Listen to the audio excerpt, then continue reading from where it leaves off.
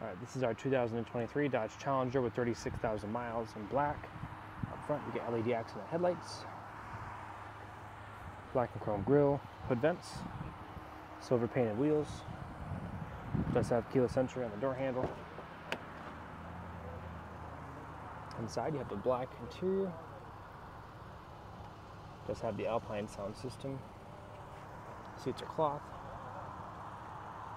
12 volt outlet right there. To get into the back seat, pulling the switch, seat flies forward. Got a fold down armrest there.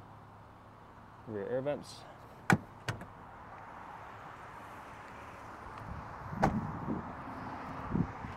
Around back, you got dual exhaust, rear spoiler.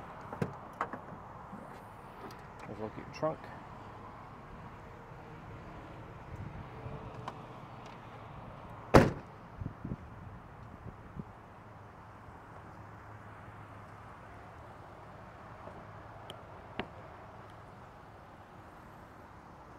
The windows and mirrors are powered.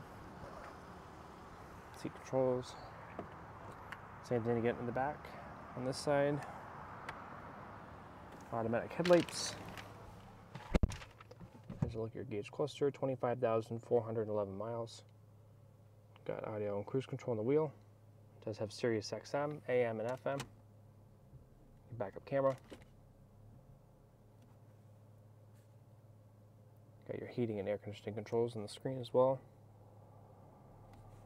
Down below that, you got more of your radio controls and HVAC controls, push button start, gear selector with manual mode, cup holders, and then up above you have dome light store or uh, dome lights and a sunglass holder.